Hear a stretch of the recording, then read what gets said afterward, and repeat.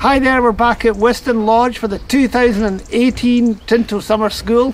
It's the 18th year of Tinto Summer School. We've been doing this since the year 2000. It was originally the Millennium Summer School, started by Claire McLaughlin and Amy Geddes, and we have got some fantastic musicians. We've got some fantastic tutors.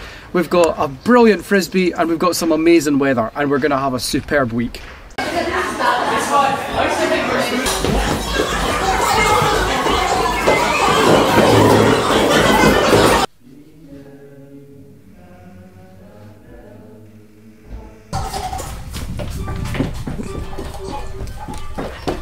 Yeah.